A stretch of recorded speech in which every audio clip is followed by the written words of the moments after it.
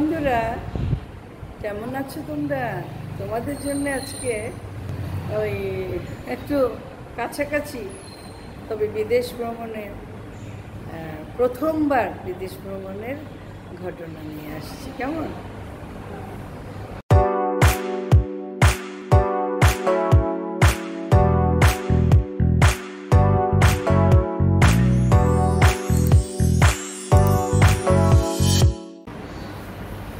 বছর আগে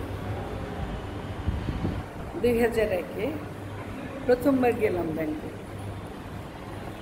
তো যাওয়ার পরে হলো কি এমনি একটু তো আহ, মোটা সোটা আছি। তো ডাক্তাররা সবসময় বলে কার্বোহাইড্রেট ছাড়া ব্রেকফাস্ট করবেন কার্বোহাইড্রেট ছাড়া ব্রেকফাস্ট করবেন। কার্বোহাইড্রেট ছাড়া যে ব্রেকফাস্ট কেমনে হয়? বাংলাদেশের মানুষের জন্য আমার মনে হয় বেশিরভাগ মানুষের জন্য এটা একটা কৌতূহলের কথা। কারণ আমাদের ব্রেকফাস্টে হয়, আটা রুটি থাকবে, পারাটা থাকবে বা পাউরুটি থাকবে, তাই না?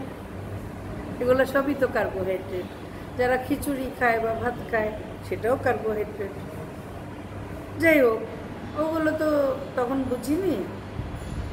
গেলাম যেখানে আমরা যে হসপিটালটায় ট্রিটমেন্ট করাবো, আর সেটারই চব্বিশ তলায় ছিল ফাইভ স্টার হোটেলের মতো ফ্যাসিলিটি ওটার ইয়ে আলাদা।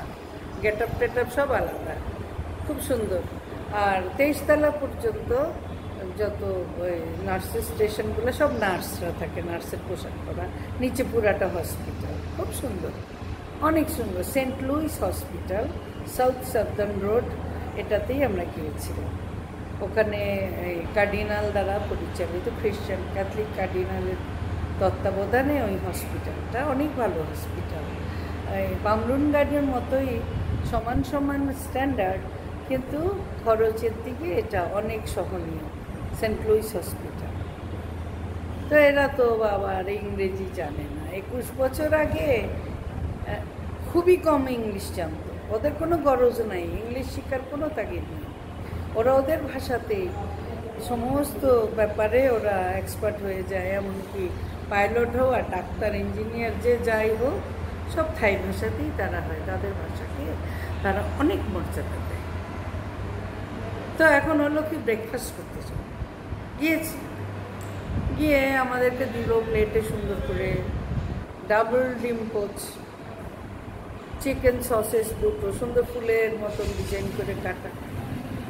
যে ফ্রেশ অরেঞ্জ জুস তারপরে হলো চিকেনের আরও কী কী ছিল? তা আমরা অপেক্ষা করছি, বসে আছি, খাই না ব্রেকফাস্ট করি না। কী হলো? ওরা জিজ্ঞেস করছে যে এনিথিং রং কোনো প্রবলেম আছে? তো আমরা বললাম, না what is bread what bread হ্যাঁ ব্রেড তো খুঁজে পায় না। আমরা তো কি করি? আমরা দরকার হলে রুটির সাথে একটুখানি কিছু একটা পেঁচায় হলে খাই। এখন ওরা দুইটা ডিম দিয়েছে, চিকেনের এই বেকন বেকন দিয়েছে সসেজ দিয়েছে, এত কিছু দিয়েছে, অথচ ব্রেড নাই। তো কেমনে খাব? ব্রেকফাস্ট বলো? ঠিক না? অপেক্ষা করছি, এখন ওরাও বুঝতে পারছে না হোয়াট ইজ ব্রেড শেষে দোভাষীকে আনালো। ফোন দিয়ে দোভাষীকে আনানোর পরে দোভাষীর সাথে কথাবার্তা হওয়ার পরে দোভাষী গিয়ে ওদের বুঝাইলো, কী চাইছি দেখলাম যে কাউন্টারের সামনে গিয়ে কথা বললাম, ওই কাউন্টারে ওয়ালটা তো সামনে, এই ডেকোরেশন করা ডেস্ক ডেস্কের ঠিক নিচেই টোস্টারও ছিল, পাউরুটিও ছিল। ও ইউ ওয়ান টোস্ট আচ্ছা ইয়েস তা আমাদেরকে না, আমরা তিনজন ছিলাম তিন পিস টোস্ট দিয়েছে। এক পিস এক পিস তো এই টোস্টটা দিয়ে ওগুলো সব খাই। পেট ভরে গেল। তখন বুঝলাম, হাই হাই রে। এই যে কার্বোহাইড্রেট ছাড়া ব্রেকফাস্ট তাহলে কি? ফ্রেশ জুস তারপরে সাথে সালাদও দিয়েছে ফ্রুটস দিয়েছে। তার সাথে খাবার পরে যেন ফ্রুটস খাওয়া যায়। কয়েক পদের ফ্রুটস মিলে একটা কোয়ার্টার প্লেটে এটাই হলো ব্রেকফাস্ট বেড অ্যান্ড ব্রেকফাস্ট আমাদের ঘাটতিটা কোথায় দেখো আমরা এতগুলো কার্বোহাইড্রেট খেয়ে নিই সেজন্য ঝামেলাটা আমাদের থাকে। তারপরে কিন্তু সব জায়গায় এবার টোস্ট করলে ব্রেড করলে বুঝিও না। বুঝেছ? ওরা না টিপসও বুঝতো না। সেন্ট লুইসে গিয়েছি, একুশ বছর ধরে যোগাযোগ যেটা আছে, কয়েক আমার নিজেরও নি রিপ্লেসের জন্য গিয়েছিলাম সেখানে দুবার। তা ওখানে ওরা কোনো টিপস নেয় না। কিন্তু বামরুনঘাট হাসপাতালে গিয়ে আমাদের সরকারি কর্মকর্তারা বামরুনঘাট যেতেন, পেপারে এই নাম দেখে দেখে অন্য দেশবাসী যারা যায়, তারাও বেশিরভাগ বামরুনঘাটে যায়, অনেক বেশি খরচ করে ট্রিটমেন্ট করায়। আর ওই যে আমাদের কু অভ্যাস টিপস দেওয়া, ঘুষ দেওয়া, আমার নামটা একটু আগে দেওয়া যায় কি না এটা করে দাও, তোমারে কিছু বাড়তি দিব। ইশারাই হোক, যেমনে হোক, ওরা বামরুন গার্ডে এটা চল করে ফেলেছে অনেকটাই। কিন্তু সেন্ট লুইসে যখন গিয়েছি, টিপস হোয়াট টিপস টিপস কিছু বুঝে না। তো আমরা চলে আসার সময় কি করেছি, আমার হাজব্যান্ড বলল, ওরা তো টিপস নেয় না। তাহলে এক কাজ করো, একটু চকলেটের প্যাকেট বা ভালো দামি বিস্কিটের প্যাকেট, এগুলা কয়জন আছে নার্সিস স্টেশনে, দেখো, কতগুলো প্যাকেট কিনে নিয়ে আসো। গিফট দিলে এটা গিফটটা নেয়। কিন্তু কোনো টিপস তারা বুঝে না। কি সুন্দর পরিবেশ।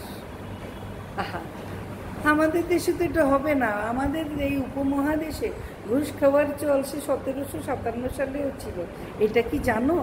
সতেরোশো সাতান্ন সালে ব্রিটিশ আমলে, হুম, এই সাতান্ন সালে তো পরাজিত হলো সিরাজদৌল্লা বিশ্বাসঘাতকতার, স্বদেশীদের বিশ্বাসঘাতকতার জন্য। তো যখন ব্রিটিশ আমল তখনও কী হলো?